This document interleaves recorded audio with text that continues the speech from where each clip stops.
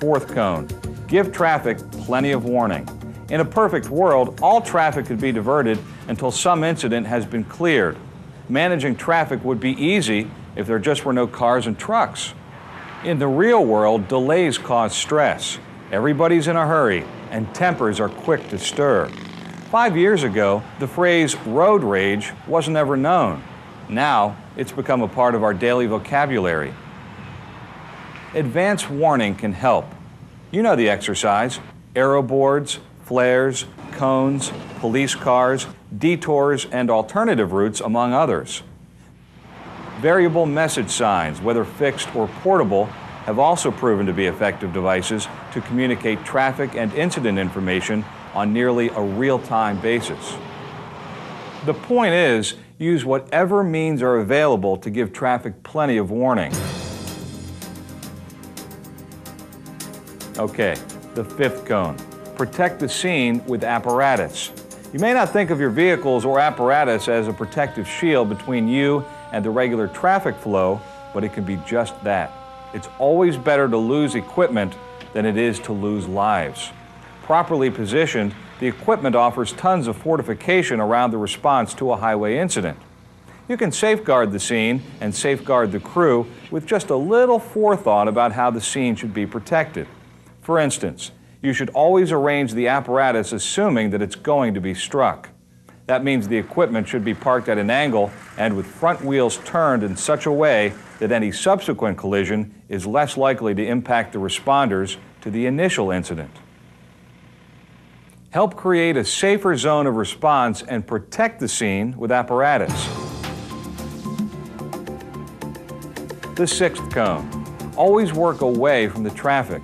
This cone is little more than an echo of what you heard so often when you were a kid. Don't play in the traffic. In all fairness, no one is playing when they respond to a highway incident, but sometimes the focus is so great on saving others that we fail to safeguard ourselves. The conversations, the discussions, the evaluations, they can all generally be done much more safely away from the traffic. Think about where you are.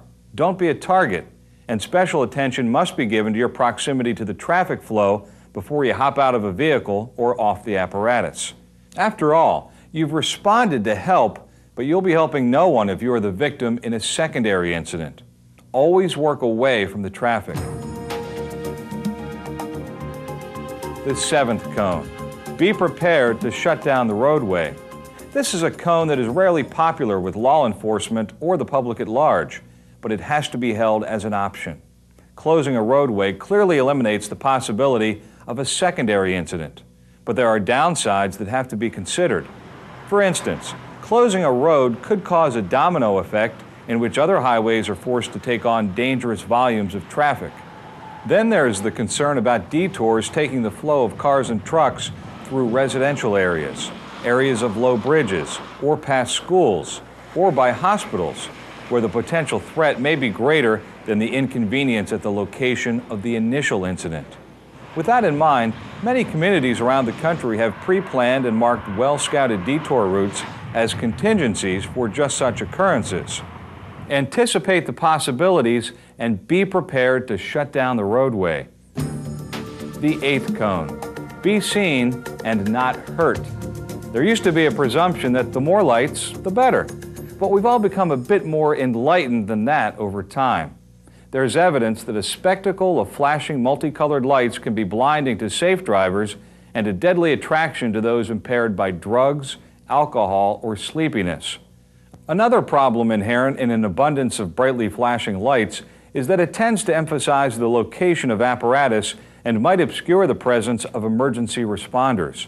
The recommended alternative is to reduce the amount of emergency lights with greater prominence given to the use of signboards, arrow boards, arrow sticks, and reflective markings on all apparatus.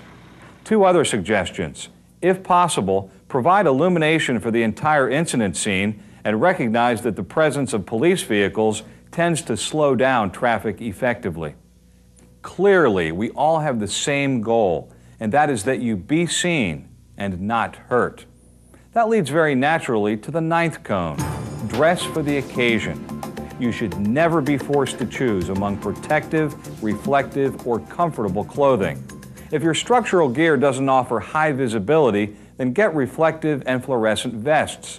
Just as important than getting the right gear is wearing the right gear. No excuses, and don't forget to thank the officers that make you wear them. The only thing they're guilty of is wanting to keep you alive. The eighth and ninth cone go hand in hand. Be seen and not hurt, and always dress for the occasion. The tenth cone is the enforcer for all the other nine. Accountability matters. It's all about responsibility. As long as each person takes the safety of the entire organization seriously, there's a real chance that secondary incidents can be eliminated. Take care of yourself, look out for others, keep your eyes open, and don't do anything dangerous. Consider assigning one individual the role of safety officer to monitor every highway scene. Someone explicitly responsible for properly staged and managed scenes. Someone who serves as the eyes and ears and enforcer of proper highway incident management. These are the 10 cones of highway incident safety. 10 cones that can make a difference in preventing injuries and saving lives. I don't think a day goes by where I don't read a story somewhere across the country that a fireman, a cop, EMT, pa- stand, somebody just standing on the side of the road uh, gets hit by a vehicle. We lost a lot of firefighters because of this accident. And it, it certainly did hurt the fire company. And it's, it scarred all of us for life. I have a picture of my two boys hanging by my gear now in my, the company I run with, run with now. And every time I grab my gear on and I make sure I touch their picture one more time. It, it changed our lives. You know, in, in some points it ruined our lives. Watch your back, guys. They're there to hit you. Just watch your backs. Watch each other. Don't let it happen to you.